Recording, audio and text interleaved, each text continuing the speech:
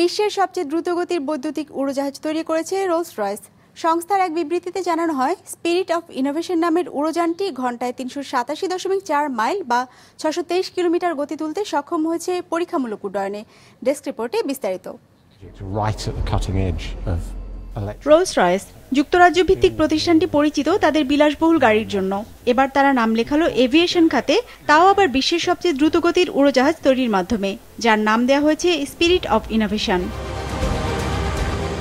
পরীক্ষামূলক উড্ডয়নে ঘন্টায় তিনশো সাতাশি দশমিক চার মাইল বা ছশো তেইশ কিলোমিটার গতি তুলতে সক্ষম হয়েছে এই উড়োজাহাজ।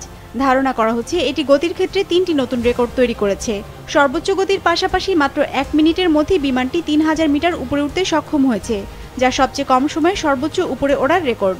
এছাড়া যুক্তরাজ্যের প্রতিরক্ষা মন্ত্রণালয়ের সামরিক বিমান পরীক্ষার সাইট উইলশায়ারে প্রতি ঘন্টায় তিনশো মাইল গতিতে উড়েছে স্পিরিট অফ ইনোভেশন যা আগের রেকর্ডের চেয়ে একশো বিরাশি মাইল বেশি। এসব তথ্য যাচাইয়ের জন্য পাঠানো হয়েছে বিশ্ব এয়ার স্পোর্টস ফেডারেশনে।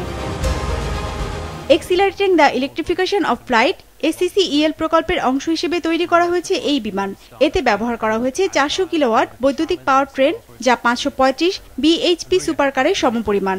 রোলস রয়েস বলছে, মহাকাশে চালিত বিমানগুলোর মধ্যে স্পিরিট অফ ইনোভেশনের সবচেয়ে শক্তিশালী ব্যাটারি প্যাক ব্যবহার করা হয়েছে, যাতে সাড়ে সাত হাজার ফোন চার্জ করার সক্ষমতা রয়েছে।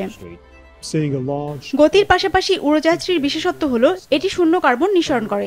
এতে এমন প্রযুক্তি ব্যবহার করা হয়েছে যেন কার্বন ডাই অক্সাইড বাতাসে মিশে যেতে না পারে। এমনকি এই বিমান থেকে ভূপৃষ্ঠ কিংবা পানিতেও মিশবে না কোনো carbon dioxide Rolls Royce বলছে, এই প্রযুক্তি কপ টোয়েন্টি সিক্সের জেড জিরো, অর্থাৎ উড়োজাহাজ থেকে শূন্য কার্বন নিঃসরণের লক্ষ্যমাত্রা অর্জনে গুরুত্বপূর্ণ ভূমিকা রাখবে। দু হাজার ছাব্বিশ সাল নাগাদ প্রথম যাত্রীবাহী বৈদ্যুতিক বিমান পরিচালনার পরিকল্পনা রয়েছে প্রতিষ্ঠানটির। Business report Maasranga television.